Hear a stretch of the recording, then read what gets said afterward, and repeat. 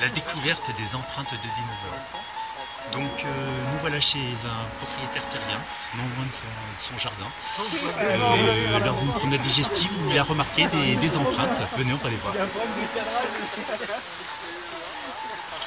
Voilà. Donc voilà ce qui s'est passé il y a 220 millions d'années. 220 millions d'années. Une époque où les constellations euh, n'étaient pas les mêmes. Une empreinte dans une dalle de grès et d'argile qui euh, n'a pris que quelques secondes et que nous pouvons encore voir aujourd'hui.